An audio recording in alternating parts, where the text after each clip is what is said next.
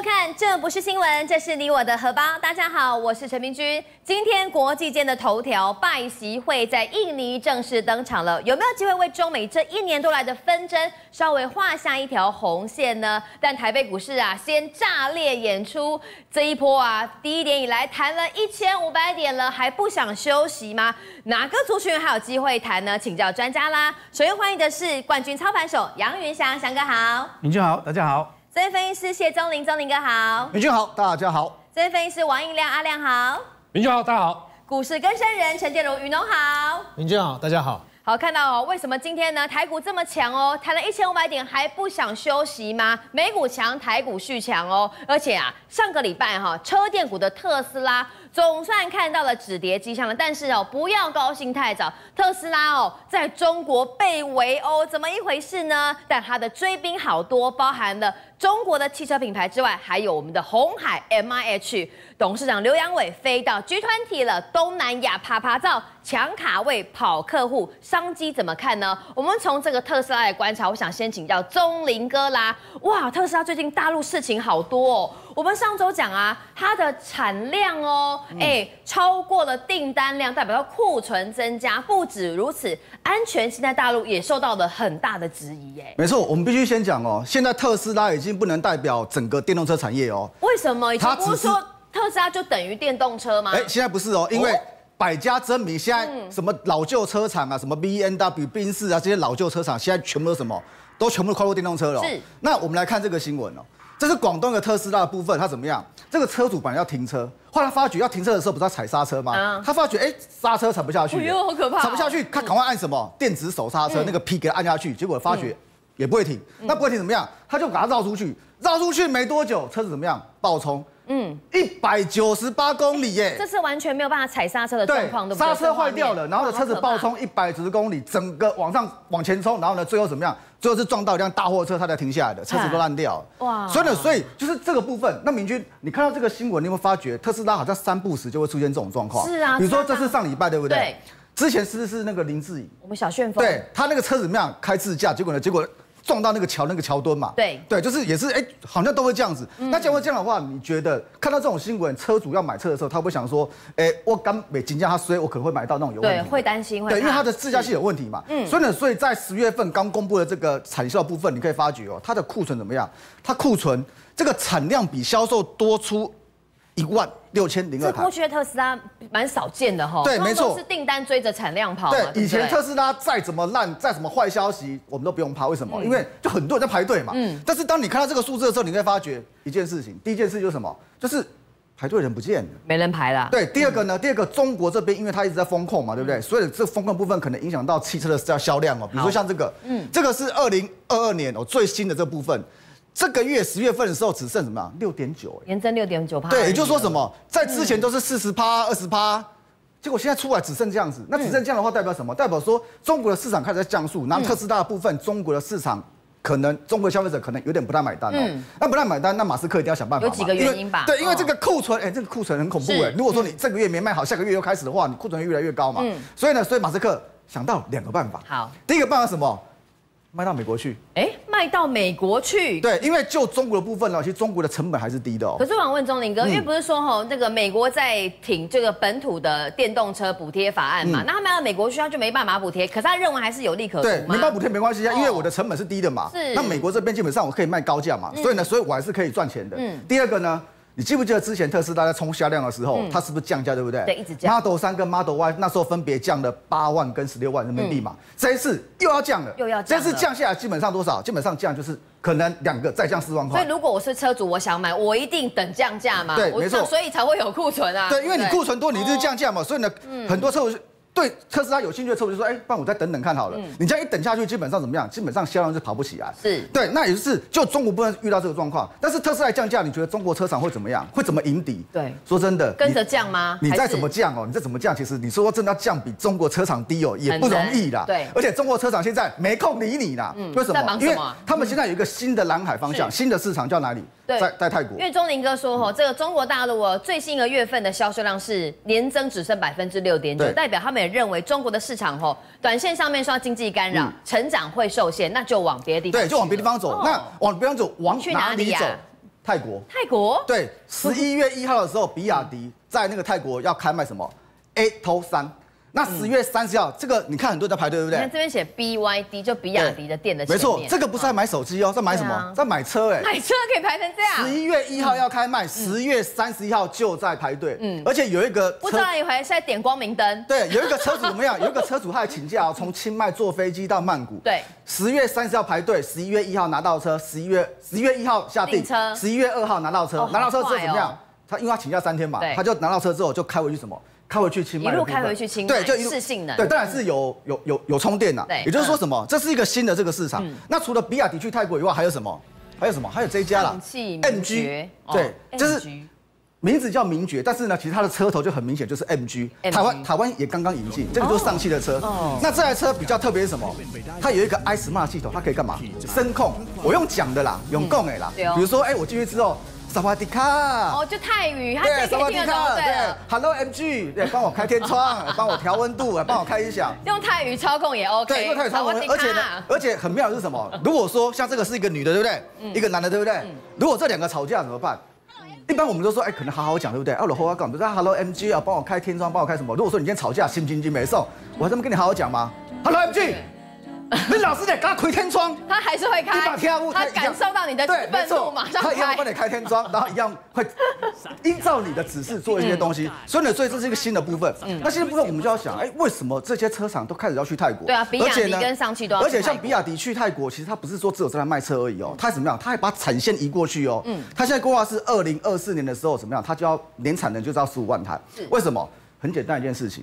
其实泰国它本来就有东方底特律的这个称号，也就是说，像之前什么福特啊，然后呢那个 Honda，你上这些或者本田的这些，他们车厂基本上都有去泰国。那去泰国其实你可以想一件事哦，车厂去那边，它只是组装而已吗？不是有一条龙上下对，它一定有一条龙嘛，甚至它旁边会有非常多的卫星工厂嘛。所以就是说什么，在泰国这么多年的经营下来，这么多旧的车厂在那边的时候，其实他们的卫星供应链早就形形成了。那电动车说真的，电动车就只是没有引擎而已，换个那个电池而已嘛，跟马达嘛。所以呢，所以也就是我谁先去泰国设厂，我就可以更快投产。没错。对，而且呢，而且像这个部分，像那个汽车出口增长部分，像二零二一年的时候啊，就去年泰国市场。对，去年其实泰国的这个市场是一百六十九万辆，但是其中就有九十六万辆基本上它是出口的。那如果说遇到今年呢？今年基本上还在成长嘛，还在成长的话，今年是增长到一百万辆，而且增长到一百万辆。对，而且泰国政府这个地方，它也一直是太很补贴哦。也就是说什么？你车厂来我这边设厂，我补贴你税负。嗯，然后呢，我的那个消费者，你买电动车，我也在补贴。对，也就是说，其实就这个部分，很多车厂都去那边。难怪你看福特啊、Honda、Toyota、B N W 都在泰国设厂。对，那都就可以出口。对，那你有没有想过，这么多车厂跑去那边，要怎么吸引消费者眼光？哎呀，我我带这么车，我的车最好，怎么吸引消费者眼光？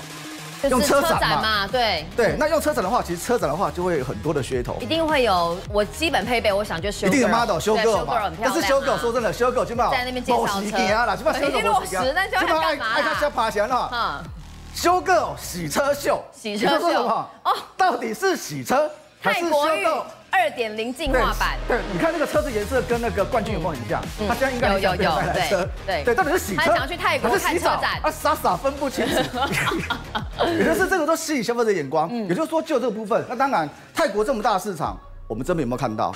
应该有。我们这边的红海集团大家看到吗？我们由杨伟董事长现在人正在东南亚，哎，巡回演出。对，没错，红海是不是跟那个泰国那个 PDT 集团有合作一个公司嘛？好人一生 Plus。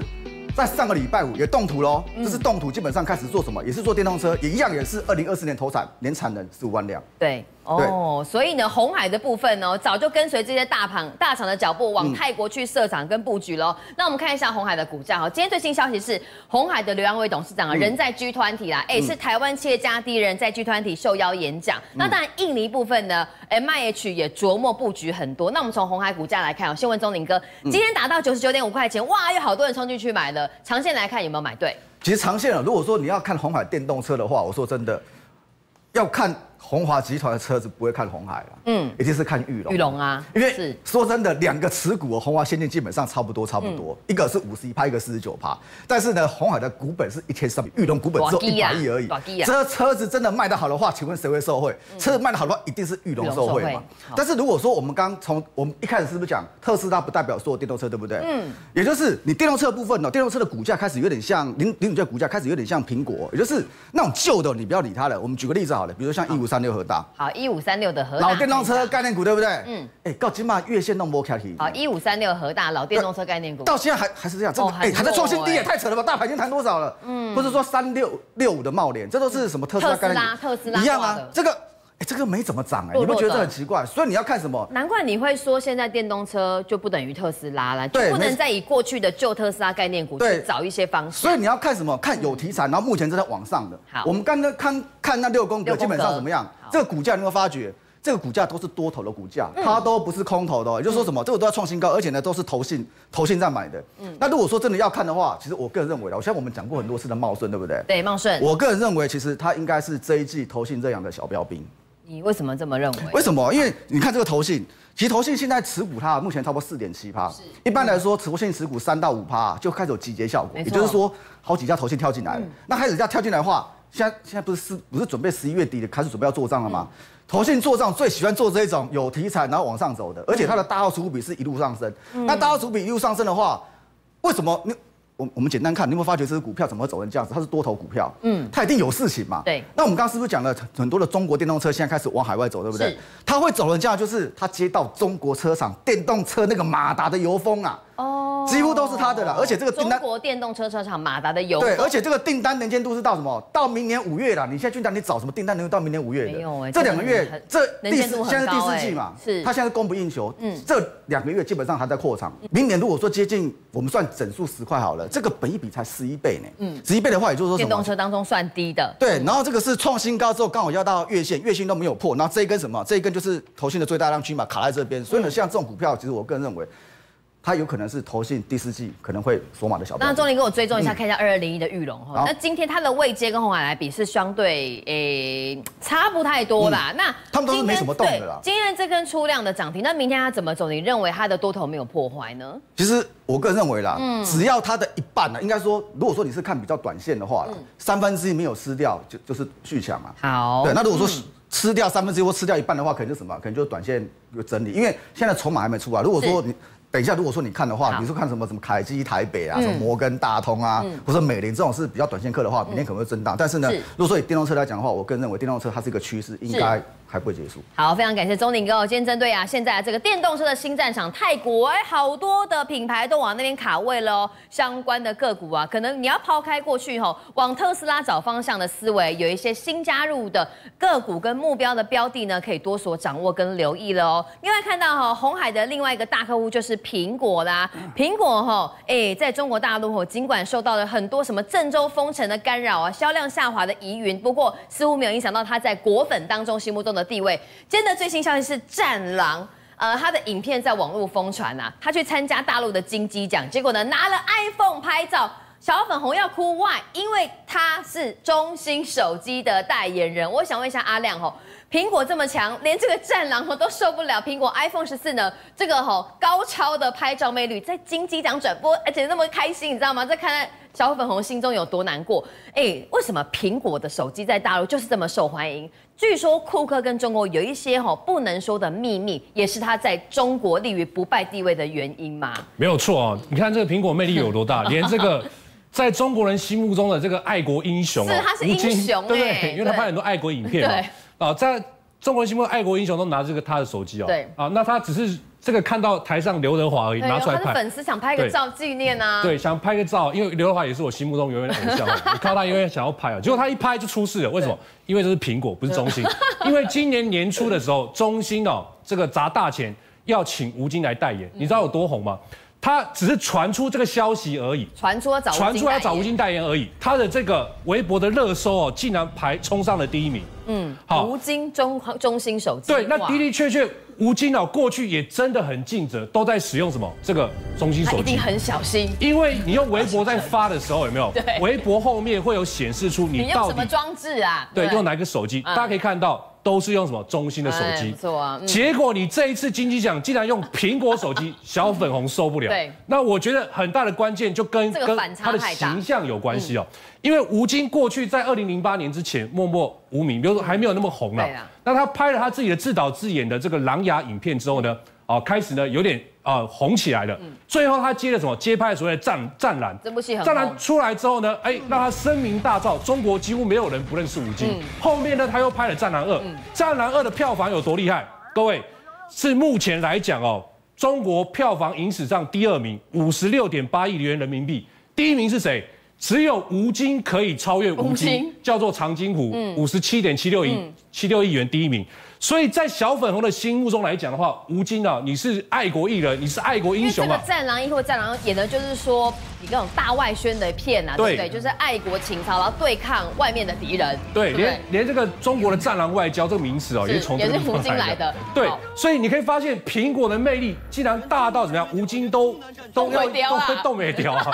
所以小粉红绝对受不了。可是呢，大家知道苹果在中国真的卖得很好。我们看一下这个数据哦。苹果呢，在这个今年前三季的这在中国的盈利利率啊，大概达到三百一十二亿美元。嗯，那你看一下，腾讯加阿里巴巴，腾讯一百五十二亿美元，然后呢，阿里巴巴一百三十五亿美元，你加一加，哎，都没有超过 Apple，都没有超过 Apple，哎，你是一个外来的公司，竟然呢，比我中国企业还赚的还要还还要更多，对不对？那为什么苹果会有这样子一个魅力？哦，它到底在为什么大家那么喜欢？甚至呢，在今年这个 iPhone 十出来之前哦。有一些不孝商人哦，打着苹果的这个号旗帜哦，去骗这个所谓的苹果的果粉哦。大家可以看到，因为你一定要够够让人家够喜欢，才有办法骗到别人，对不对？所以你看，中国苹果专卖电商易购网啊，易易联购这个公他打出来说啊，我便宜大概四百到五百人民币啊，你来买。哎，结果呢，一堆人去买，买了之后，你知道这个这个电商多好笑？就他收了钱跑路了，没给货，对，没给货，而且他还发了公告。说什么？感谢你们的支持与陪伴，我们真的跑路了。过分哦！对，嗯，而且他还给这些人一个一个忠告哦，啊，你说记住哦，以后呢不要贪小便宜，贪小便宜会吃大亏。天是天上没有这个掉下来馅饼。大家为了想要 iPhone 先抢到这个吼欲望有多么的强烈啊！所以呢，中国人真的很喜欢 iPhone。你可以看到，在去年 iPhone 十三这个商场的时候，甚至怎么样还引发所谓这个商场的暴动哦。你看人山人海，全部都人，大家就是为了要先拿到这个 iPhone 十三。好，那今年来讲的话呢，有人说卖不好，可是呢，今年刚开始卖的时候呢，一样，这个 iPhone 十四呢，一样是挤爆了这个直营店，也是一样一堆人哦。所以从这样子的一个角度来看的话，哎，苹果好像在中国没有受到任何的一个打压，没有。那为什么会这样子呢？对呀。好，就有人传出来。苹果是不是跟中国的高层啊有做一些协议的部分？尤其是库克的部分，有什么样的证据跟蛛丝马迹？库克去中国很多次哦，那其中有一次呢，库克跟中国签署了大概两千七百五十亿美元啊，这个换算成台币大概七点六兆的协议，嗯，就是呢承诺苹果会透过投资以及商业合约的方式协助中国去发展经济啊以及这个科技的部分。好，这个协议。呃，为基础的情况之下，哎，苹果好像呢，在这个中国就开始怎么样，无往不利。台面上好像很震惊的事情嘛，签协议啊，合作啊，训练啊，发展经济科技呀。对，那的的确确可以看出来，库克他不只是管理大师，他其实也是生意人。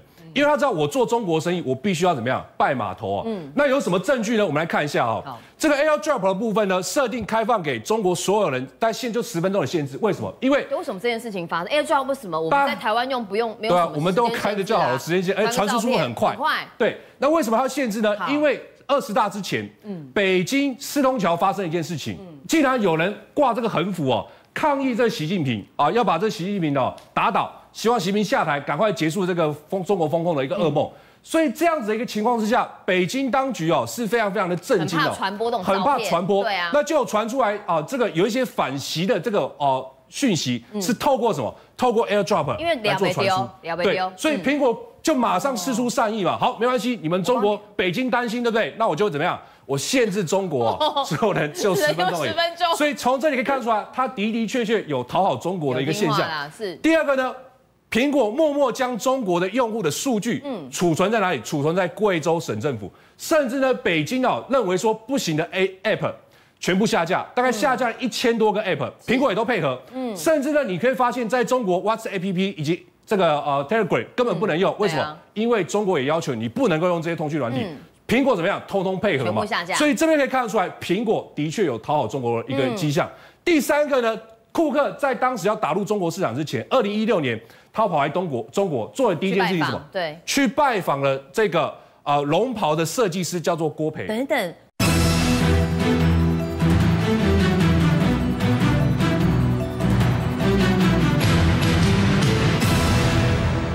库克在当时要打入中国市场之前，二零一六年他跑来中国，中国做的第一件事情是什么？对，去拜访了这个呃龙袍的设计师，叫做郭培。等等，他去中国拜访不是去看厂房、看客户，而且去找这个龙袍设计师。当时其实在网络上也掀起了很大的一个声浪声浪哦。为什么要找他呢？因为这个设计师当时设计的一款一款这个呃服装啊，叫做龙袍的走秀，Rihanna 穿过，对他曾经穿过嘛。那库克呢，就是怎么样？他去的意思说，我尊重中国的文化，哦，好像在跟中国的这个人民哦打好关系。哎，我就去拜访了这个龙袍的设计师。对，好，所以呢，从这样的情况可以看得出来，哎，的的确确哦，这个库克呢都有在讨好中国的迹象。那最后一点呢，你会发现，库克好像对立讯特别好。我也这么觉得，立讯好像是。这个苹果的软肋啊，因为每次红海出事吼，哇，这个苹果就会比如说像之前血汗工厂的事件啊，大力整肃啊，房查就是房厂。但立讯出事，好像苹果就比较睁一只眼闭一只眼，感觉啦，嗯，感觉有点双重双重标准的一个一个感觉。有没有什么样的那你可以发现哦，立讯呢，刚刚之前的薇薇姐也讲过嘛，她是这个库克最信任的女人，就是那个王来春，王来春的老板，他的确很厉害，他就他以前其实是帮这个富士康打工的，那现在已经发展出来怎么样，已经威胁到富士康了，而且你会发现，他就紧咬着富士康，富士康在越南建厂，隔一条街而已哦，富士康的工厂大门，对。对面这个呢，就是立讯，故意的吗？就是故意的，而且所以所以之前这个呃刘阳伟就影射，就是说呃竞争对手哦，这个跟着我到处盖工厂，那甚至还高薪挖角我的人，我走到哪你就跟到哪，你还挖我，从对面挖我的员工。对，那库克呢，对于立讯来讲，我个人认为也是特别特别宽容哦。你可以发现今年啊，这个二零二零年的时候呢，九月份当时爆发了这个五千名工人罢工事件，哎，你会发现后面。库克呢也对这个这件事情睁一只眼闭一只眼，甚至呢在今年呃在疫情期间，苹果应该是很要求供应链要照顾员工的福利，可是呢疫情期间这个立讯没有去发所谓的这个薪水给员工啊，甚至一些福利相关给付，哎，库克也是睁一只眼闭一只眼。那第二个呢你会发现哦，在这个呃这个越南这工厂，你会发现立讯哦这个工厂的门很小哦，你你要员工上班到工厂里面。要据说要一个小时，是，而且这个环境也很恶劣，嗯，好，你的那个高污染、高污染的工作环境，据说只给他口罩跟毛巾而已，一些防护基本设备都没有。那照理来讲，如果是其他的苹果工业，苹果的标准不行，我我订单我就不给你了，对啊，对不对？嗯。可是为什么立讯还有办法拿到苹果订单？所以我就讲嘛，这就是双重标准哦，那就代表说，其实这个库克为了要打入中国市场，他有在刻意讨好中国官方跟中国企业的感觉。那可是我们台长。对于苹果这商机要不要赚，也是要赚的，大家还是要抢的，抢了，因为苹果商机的的确确是很诱人的，嗯，所以相关的供应来讲的话，我们接下来该注意什么？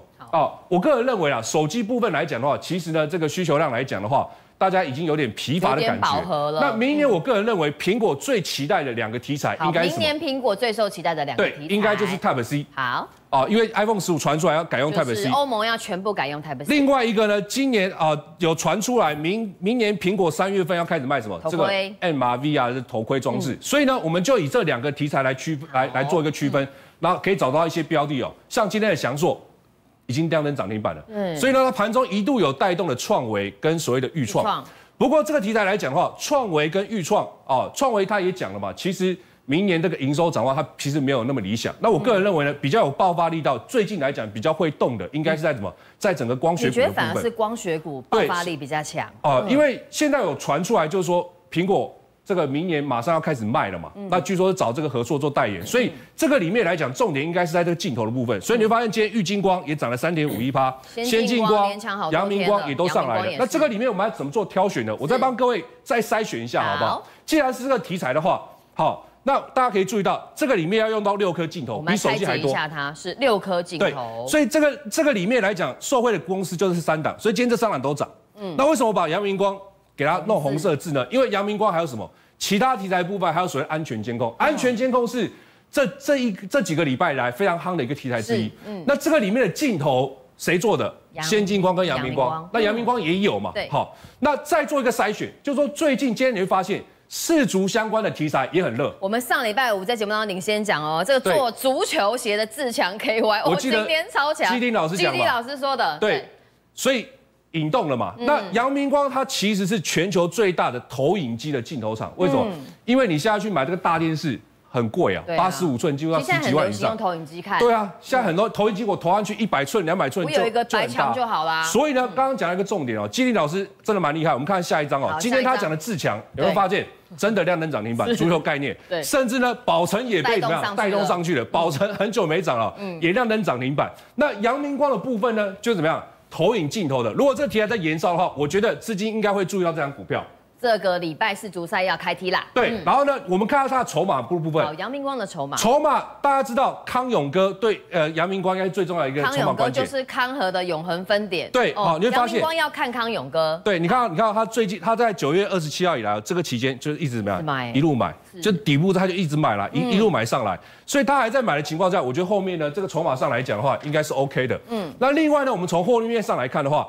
你会发现，它去年一整年才赚零点二三元，但是今年的前三季来看到，已经到了一点一九了。嗯，那我刚刚讲了，你要选择这个呃呃 Type C 还是所谓的镜头？嗯，那 Type C 展望明年这个营公司不是很好嘛？那阳明光的展望来讲的话呢，他认为明年还有一个成长动能，所以我觉得这个应该是进可攻退可守啊。那股价现在你要找这种低档低根上来，我就觉得已经很少了，很难的啦。对，很难的。大盘都涨了一千多点。对，所以要稍微找它有压回一下。啊，有机会再上的，那我觉得这边如果再上去的话，是有机会去挑战这个平台，甚至这个地方前破的一个高点啊。我觉得如果这个题材在引动的情况之下，这一档应该是不错的选择。好，非常感谢阿亮，而且针对这个哈苹果啊，在中国大陆为什么无往不利的秘密呢？告诉大家之外，也帮大家追踪哦。iPhone 啊，成长动能出海，可是啊，明年可以留意的是，包含了 Type C 还有 MR 头盔相关的热度跟这个呃标焦点个股的参考啦。那看一下大陆最近真的哈猫起来救经济哦，哎让。让钢铁股捡到枪吗？钢铁股今天涨什么呢？讲这个啦！双十一，中国的官方加建商用猛药来救房市，哈，为什么呢？因为中国风控跟清零影响啊，经济受到了很大很大的阻力跟干扰，那房市也受到了前所未有的大风暴。但这个时候，中国没有办法再坐视不管了，一定要来出重手救经济。来，请问一下雨农对于这个大陆救房市的看法？我们先看一下。大陆祭出了史诗级的救房市策略，有强推十六条的措施啊，楼市成交很低迷，所以大陆房企双十一有很不错的方式来促销吼，哇，今天吼。钢铁大牛涨喽，中钢涨三趴，中红一度涨停板，海光威智等等也涨，星光钢、夜辉、大成钢全部都喷出去了。我想问一下雨农哈，钢铁股的涨是因为跟大陆旧房是有关系，还是说它位阶真的很低了？该轮到钢铁股来表现了吗？我觉得两个部分都有可能，嗯，但是我觉得第一个部分它可能占的比重会更大，就是大陆旧房市。对，因为其实大陆我们都其实大陆房其实基本上只样一口气。就剩一口气，现在 ICU 里面了，就是说这个再再不救，真的是来不及了。所以说，其实这一次推出这个旧房社政策十六条重点，其他内容非常非常的多。我看不懂哎，快帮我做个重点整理。所以说，我们特别帮大家整理出几个重点。第一个重点，它就是扩大建商的融资管道，给他钱。对，以前不给你钱，现在给你钱了。第二个，支持政策性的银行提供保交楼的这资金，我们都知道，其实保交楼是过去这半年多以来。他们政府的这个非常重要一个政策，那现阶段来讲，他连资金这个地方都帮你去做一个兜底。他们可能很多建商没有钱。对，然后再来就是说，很多的这种贷款啊，都帮你去做展期，你缴不出钱没关系，你付利息或者展延到还有最重要说，调降了个人房贷的首付比率和贷款这个率。其实这里面大家可以看到一个重点，就过去中国在针对房这个地方，就是说我只住不炒。嗯，到现在送进了冷冻柜之后，我要开始救你了。嗯，他开始怎么样？不只是救所谓的一个。保交楼，嗯，他连企业都开始救，嗯，连企业都开始救，哎，有一些蛛丝马迹，大家来看一下哦。那为什么哈大陆现在开始毛起来救房？是因为经济遇到了很大很大的问题。我们先用雨农看一下哦，大陆的风控清零到底出现了什么样的乱象呢？我觉得这乱象真是让大家不可思议。我觉得现在已经这是这是第三世界吧？这叫做群魔乱舞。对，为什么会这样讲？因为其实我们都知道上海是非常重要的一个大城市。嗯，其实，在十一月十一号，上海十一号线。地铁忽然冒出了火花。嗯，大家想说为什么？好可怕哦。对，因为其实，在这样的一个所谓的一个清零政策过程当中啊，很多的人因为工作的关系。呃，因为这个所谓的一个风控关系，没有办法工作，对，直接把你关在家里面，嗯那造成很多的这个工作人员他并没有办法去做什么事实的维护。我懂了。所以说，其实，在一线在在这是每一天的这个所谓的日营运营。每天要来这个哈运量千万，是破千破千万的人流的，结果发生了爆炸火灾，人为疏失，没有好好的维修检查。再来就是在十二号的时候又发生了，在高铁哈江西呃江西的南昌西站高铁站发生了爆炸。哎，这画面很惊人呢，不可思议啊！这都是一高铁站爆炸，高铁站爆炸，不知道还会发生恐怖。那其实这也是因为电线走火的关系，变相爆炸所造成的一个现象。嗯，其实除此之外，其实有很多很多现象。都让大家匪夷所思。好，为什么匪夷所思呢？其实啊，就是在黑龙江，其实有个服装店哦。嗯。呃，老板他在呃，因为大家都知道嘛，其实下午的时候没什么客人，他在大概下午两点多，就在他的这个呃柜台的后面，嗯，他就在那边偷睡觉。嗯。偷睡觉呢，忽然有人进来说：“请问有人在家吗？”嗯。啊，他那个满头这个凌乱的，穿着拖鞋走出来，请问你找谁啊？嗯。他说：“啊，你为什么没有戴口罩？嗯，还睡觉，干嘛戴口罩？不好意思，因为你没有戴戴口罩。你这里是营业场所，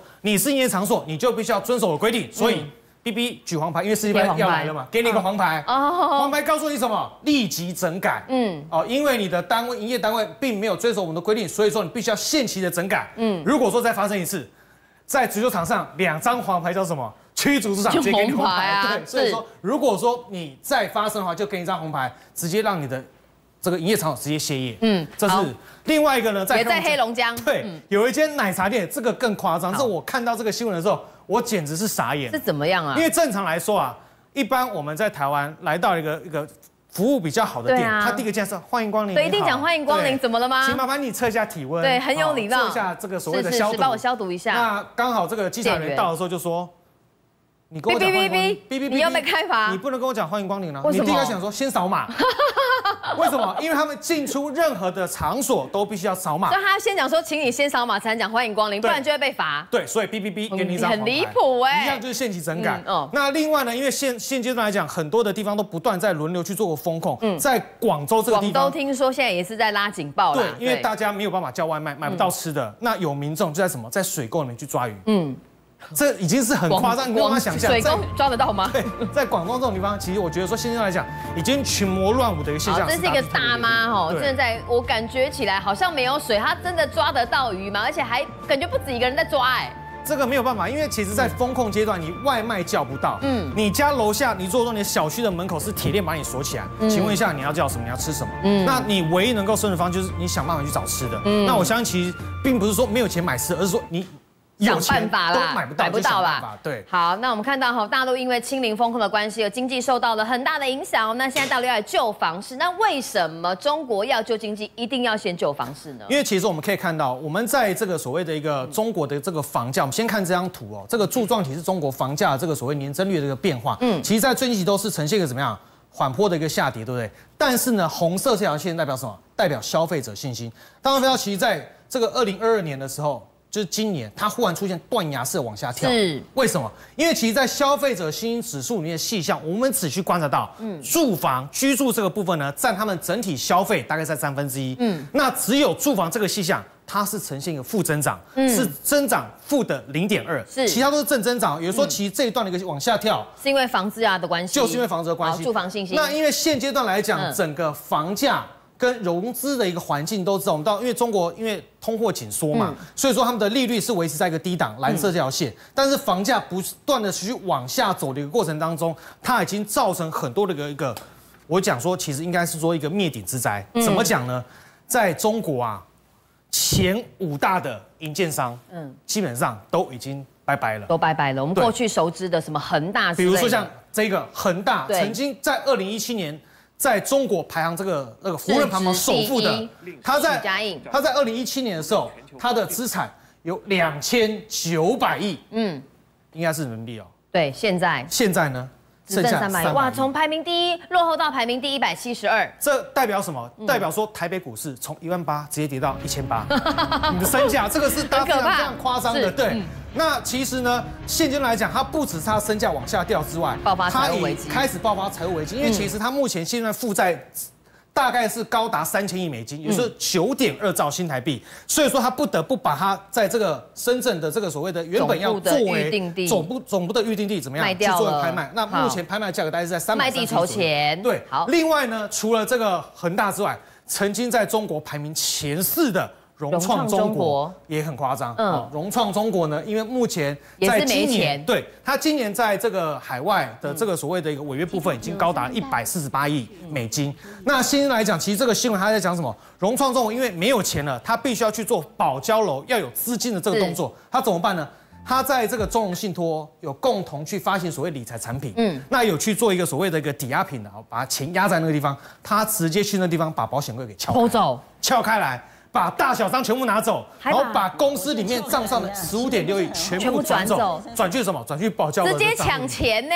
这非常非常夸张，这个这个简直像没有王法的一个一个。好了，这是比较不良示范，但是也有一些建商很努力的卖房子出怪招。对，这就其实我们在讲，就是现现在来讲，这个我们都听过啊，买房子。送院子，对啊，之前讲的啊，买房送院子啊，我们节目当中哦，那时候引起很大的回响。那现在呢？不用买，还可以送什么？你直接买院子，我送你。买院子送房。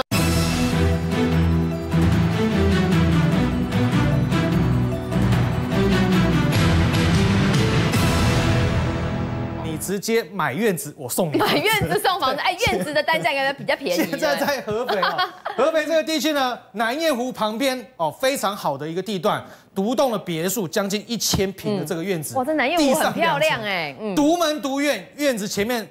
院子是房子的三倍大，你现在只要买了院子，我就好了。这个地点我觉得院子大比较重要，房子还好，所以 OK，我可能会买单。对对对。好，那来看一下哈，这个中国旧房能够带动钢铁股吗？哎，宇农哥看了几个哈，原物料的在表现似乎有影哦。对，我想其实我们最近在观察这个所谓的一个产业结构，其实现在看财报其实都不准。为什么？因为今年以来这个景气的滑坡，其实造成很多财报都已经失真了。那我们要看什么？就是看整个产业链。它有没有开始出出现一个复苏的现象？那我们现在看期货报价，比如像铁矿石这报价，在最近期的一个报价，从低点涨上来，已经涨了百分之二十，涨很多哎。铁矿石涨了，好，那铁矿石要做成钢铁之前，要用焦煤去烧它，焦煤也从低档往上涨，嗯，涨了将近百分之二十。另外呢，我们再看看螺纹钢，就是要做这所谓的一个一个建筑专业，盖房子也是一样。从低档涨上也涨了将近百分之十，比如说其实从上中下都开始去涨的时候，那我们就要去思考，如果说这一波中国救房市是政策真的出重拳，嗯，要来救房的话，那我相信其实中国的房市会一波融景。好，那钢铁股就有机会。对，所以说我们回过头来看中钢啊，中钢其实大家没有发觉到，它的股价在最近悄悄的筑了一个底部之后，开始往上去做突破。嗯，今天突破了这个短期的一个反压呃均线，对不对？对，大家有没有发觉到，其实啊。外资不是今天才买，外资已经买了五天了，就代表说春春江水暖啊，外资先知，对，有人先知道。那么也就是说，如果说中钢开始去做发动的时候，大家就会思考哦，中钢动了，通常整个钢铁小资的会动的会非常活蹦乱跳。是是。那我们可以看到，像今天也相对强势，比如像大成钢，大成钢其实我们可以看到，这是一张比较图啊。我们先比较一下，二零二一年的一月份。到二零一一年三月份，去年的时候，对，那我们去比较什么？比较它现跟现在这一次，大户他在干什么？嗯，比如说在当时二零二一年一月份到三月份，当时持有八百张以上的，我们定义为大户，好，他的整个所谓这个人数呢，怎么样？偷偷的在这方去做往上去做增加，嗯，那散户呢，就是四百张以下持股的人，不断的去做减少，代表说。大户在吸筹，对，好，那我们现在回过头来，就涨上我们先卖个关子，先卖关子，这个不算什么，我们先卖个关子。回回过头来看这一次，最近从二零二二年的九月份到现在十一月份，大户在干嘛？也在大户不断的在去做增加筹码动作，散户在干嘛？散户不断的在去做卖出的动作。好，我们记住这两张图哦。好，记住它的价格，当时是在二十五块到三十块左右，嗯，现在四十块左右。好，我们看到下一张图。好，下一张图。下一张图，好。当时看的价位在哪里？是在这个地方，二十五块左右。二十五块到三十块这个地方，涨到了六十二块，代表说春江水暖，绝对有人先知道。那我们回过来看到这一次哦，这一次他在这个地方去做一个锁筹动作，嗯，会不会跟上一次一样？我相信其实这个大家。可以就中长线来去做观察。好，非常感谢雨农哦。今天针对啊这个中国大陆双十一之后呢，政府啊忙起来救市跟救企业，看到钢铁股今天动了，跟这个政策有没有关系呢？大家可以多做联想。那如果大致的中钢啊开始表态了，小型的小钢炮呢可能会走得更加的激烈哦。大家看从大盘来观察哈，大盘还可以跑多久呢？哇，今天呢利空不跌股啊。好，货柜三雄呢表现非常的抢眼，长荣啊，大家乡民都在讨论哦，年终要狂发六十个月。那船产股除了钢铁股之外，有没有办法年底拼补涨？那谁最强呢？请问一下这个翔哥，我们从大盘先来看哈，哇，大盘感觉这一波涨一千五百点，好像没有要休息的意思，今天还在涨，今天盘中一度大涨超过了两百点，中场是涨一百六十七点哦，哎，收在一四一七四，可是量哦依然是有两千五百亿元之上。上周五哦，外资大买四百多元，今天继续买哦，今天外资买超三百七十七点八亿元，外资在求饶式的回补吗？那台股靠着台积电收复季线啊，上涨百点，站稳万四了。两个重点讯息，一个是从国内的部分，黄天木主委说，净空力退场不到时候，那基本面呢就跟狗跟主人关系一样嘛，狗会跑来跑去，可是呢台股表现符合期待。那另外一个是我们今天开场讲的拜习会。傍晚进行双边论坛，有助稳定双方的关系。他们一稳了，不吵了哈。港股先涨了，那科技股大涨，台北股市有没有机会继续涨呢？我想问一下翔哥，我们从大盘的 K 线来观察哈。呃，台股站上季线了，我可以定名为它正式翻多了吗？因为从年初跌到年尾，大家都快受不了了。年底可以赶进度吗？哦，我先讲一下，刚你刚讲到国内对。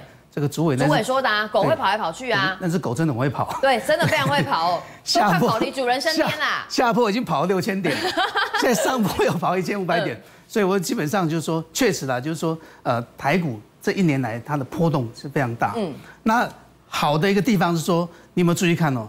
其实从大大概三月份到现在来讲，这条季线啊，嗯，几乎都没有没有呃呃没有办法有效站上过。今天来讲，其实呃礼拜五那一天呢，基本上你会发现说，它已经怎么样正式站上季线，这是一个好的一个一个呃呃现象啊。因为以这样来讲，就是说，哎，确实它就已经呃就是有一点翻多的一个味道。那为什么讲翻多？就是说以这条季线来讲，我上下会多加个一个一个百分点的一个落点，就是说如果越过以后，那基本上这个季线来讲，这个位置点等同。压力变支撑哦，压力变支撑对，所以你看发发现说，哎，在一万接近一万四左右，感觉就已经怎么样？有一点，所以压力变支撑的话，如果大盘回落到万四附近，反而是可以找切入的机会，对不对？我觉得是有有这样的一一个一个机会点。好，那大盘的观察，那上礼拜是啊，翔哥来我们节目当中哦，特别从这个与季线乖离过大的个股来找机会。当时我记得你特别提醒大家要看长荣，很厉害，长荣连续几个天哦，这个都是呈现呢大涨的这个表态。今天呢？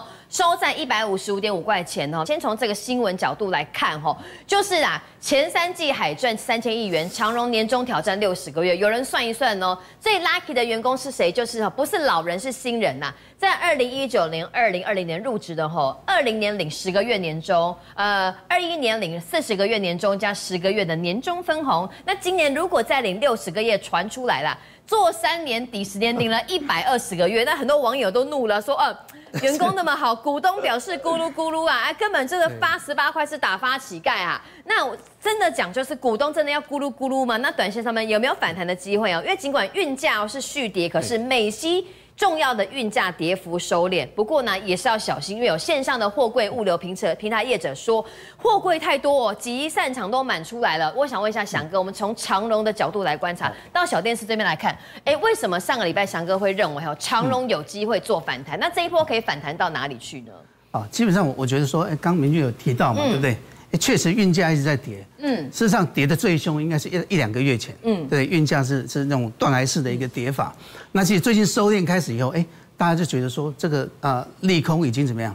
大概已经都结束了，大家觉得说，哎，开始有收敛，就是一个利多的一个开始。嗯，那确实，其实也不单只是这个这个消息的一个一个状况，就是说，我们可以就长龙，我我今天带了一张图，就长龙来看，你会发现说，哎，其实从长龙，你看这个落点哦，就是它的一个呃，我们讲说。这个疫情过后的一个起涨点，对不对？嗯。从十几块一直开始飙升到两百多嘛，对不对？嗯。那其实你会发现哦，我今天是把它用一个所谓的一个呃股价净值比、股净比。好。也就是说，以长隆来讲，它过去呢过去在还没有这个飙升之前，嗯，其他的股净比落点就在大概呃一左右，也就是说，哎，跟净值是接近，因为我们讲说它是一个景大的一个景气循环股嘛，对不对？那你可能用本益比不适合，嗯，可是用股净比来讲会很合理，对不对？所以以这样的一个情况下来发现说，哎，长隆现在是多少？目前来讲是一个零点五九，它目前的。股净比是零点五九，因为它的什么？它的一个一个净值是在两百五十五块。嗯，从这个所谓的呃呃，就是呃减资之后两百五十五块，现在股价是一百五十几。嗯，也就是说，哎，你比这个这个净值来讲。还低于什么？股价还低于一百块哦，对不对？那以他今年来讲，预估人家说赚了一倍赚了一百多块，嗯啊，所以呃以以这样的情况下，就是说确实它的股价有被我们讲感觉好像被被低估了，因为就股净比，因为你发现说最高的落点 PB 在六点五亿。那我想哥我们不可能拿那时候最高的 PB 来看的话，那我到底是要用回到一的这个。这个水位去期待，还是说以过去零点六九左右的这个水准来期待呢？不期望是现在来到一嘛，因为未来的情势不不清楚。嗯，可至少说它过去最低的落点在零点六九，那现在是零点五九。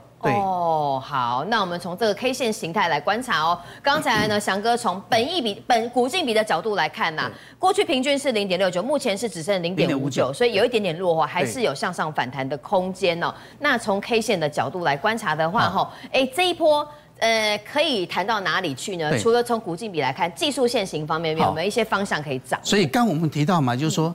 这个一倍的落点，哎，在五两百五十几块嘛。当然我们预期不用那么高的情况下，零点六九大概在这样的落点，大概在哎接近一百八左右，这是零点六九的一个倍数。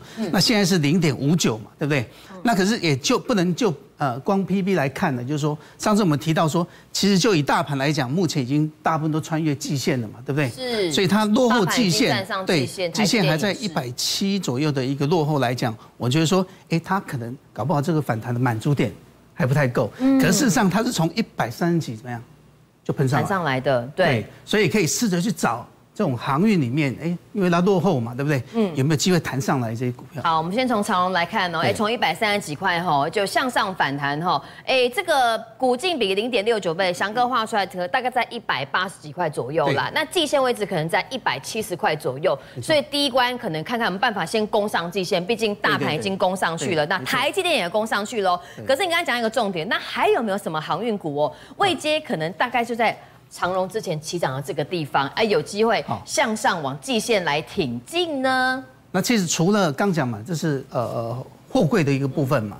那其实散装其实最近也已经大概很多都已经落地。呃，刚云南说什么铁矿砂、焦煤啊、螺纹钢都涨。那想到大陆钢钢铁强嘛，是一般会讲，哎，铁矿砂开始以后，哎，散装大家就可以有预期性了。嗯。那其实散装很多你会发现，其实很多也都落在什么？